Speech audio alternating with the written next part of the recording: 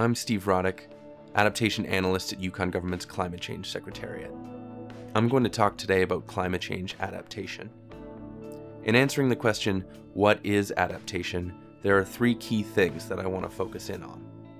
First, how do we define adaptation, and what does it mean in the context of climate change? Second, how do we, at different scales of our global society, manage and coordinate climate change adaptation? And finally, how are Northerners responding to the impacts of climate change? Adaptation, at its core, is part of evolution. It is something that natural and human systems have always done. Humans adapt to moderate or avoid harm or take advantage of new opportunities, and have a long history of doing so. Adaptation emerged as a key component of our response to climate change because of the effects that climate change impacts have on natural and human systems. The Intergovernmental Panel on Climate Change defines adaptation as the process of adjustment to actual or expected climate and its effects. For humans, this means reducing or avoiding the negative impacts of climate change and taking advantage of potential opportunities from positive impacts. For plants, animals, and other aspects of natural systems, that stand to be negatively impacted by climate change, adaptation may also require human intervention. Adaptation and mitigation, which is the reduction of greenhouse gases humans produce, are complementary.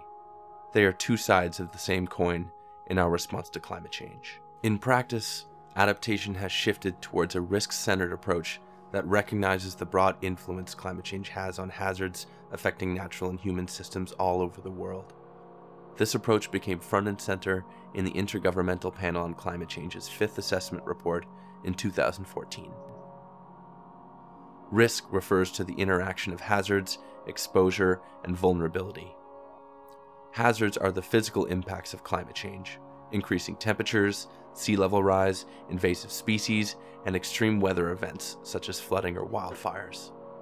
Exposure refers to the people, assets, or other things that we value which are in a location or situation affected by climate change hazards. Vulnerability refers to the sensitivity, susceptibility, or capacity of those people, assets, or values to adapt. Take wildfires as an example. Wildfire is a hazard that occurs naturally but is influenced by climate change, meaning warmer temperatures lead to hotter, drier seasons, which lead to a higher probability of fires. People in buildings, roads, and infrastructure surrounded by forest areas are exposed to this hazard. The vulnerability of exposed populations, assets, and values depends on their susceptibility to the hazard and also their capacity to adapt. Vulnerability can be reduced by limiting forest fire fuel loads, building fire breaks, and fireproofing homes and properties via metal roofing, combustion resistant siding, and landscaping.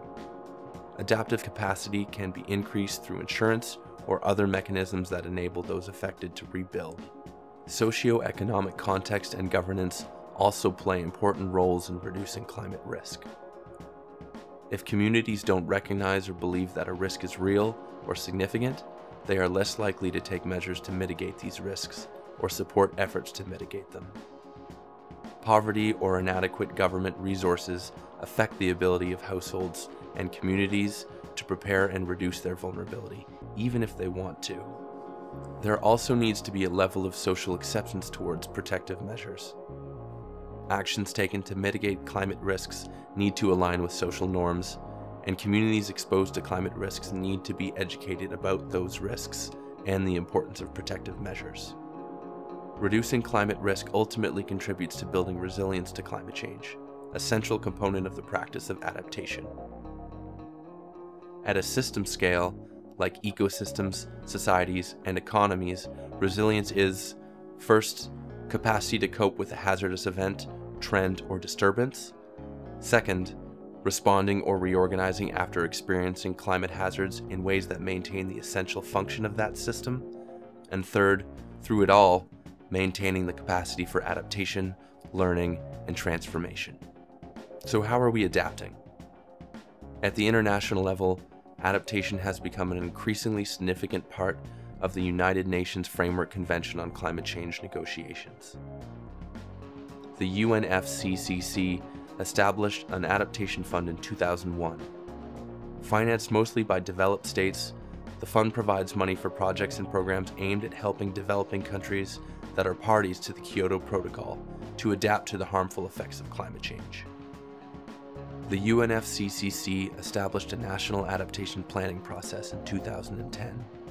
It enables developing countries to formulate and implement national adaptation plans that identify medium to long term adaptation needs and develop and implement strategies and programs to address those needs.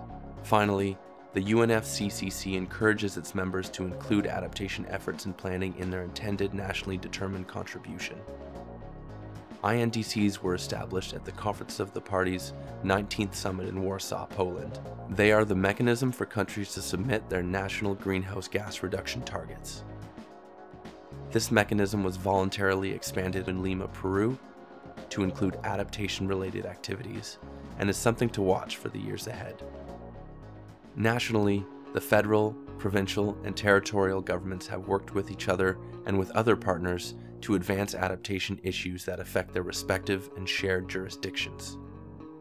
Funding for adaptation research and project work has helped to advance Canadians' understanding of climate change impacts, implement adaptation projects that seek to mitigate these impacts, or build resilience to future climate change impacts. Adaptation financing comes from provincial and territorial governments, sector or issue specific federal government programs, and also from private sector organizations with an interest in reducing climate risk.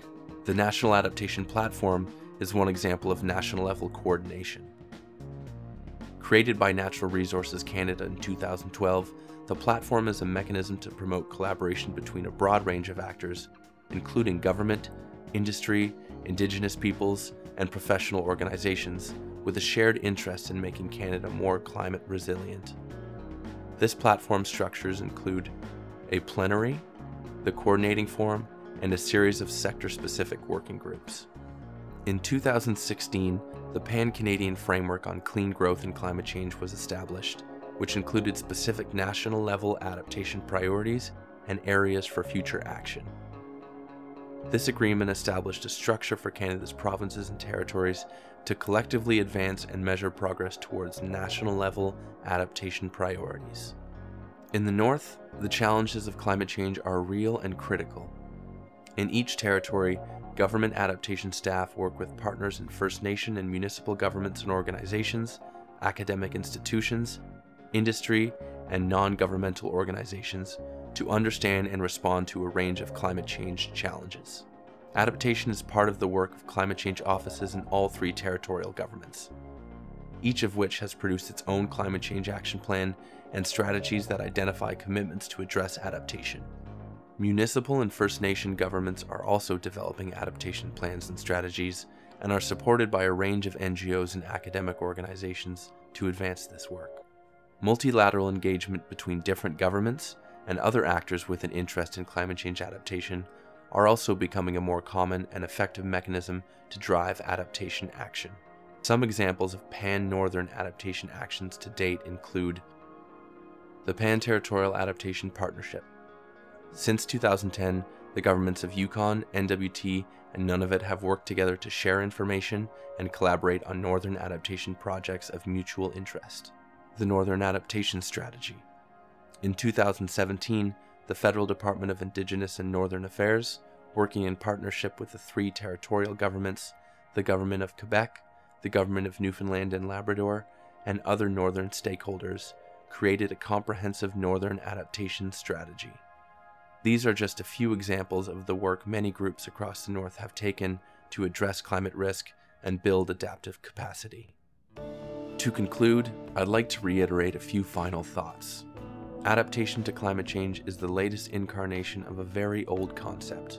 Preparing for or adjusting to actual or expected change is how human and natural systems evolve. The practice of climate change adaptation has become more focused on issues of risk and resilience. Understanding how climate change affects existing hazards and vulnerabilities, and how human and natural systems can increase their resilience to climate change adaptation policy and governance continues to develop and improve and a wide range of actors are now engaged in adaptation governance frameworks that span international, national, regional, and local scales. Northerners are recognizing and responding to climate change impacts through a variety of actions that serve to increase climate change knowledge and awareness and enhance adaptive capacity. I hope this has given you a better understanding of what climate change adaptation means and how people are adapting at different scales across the globe, but especially in the North. How are you adapting to climate change?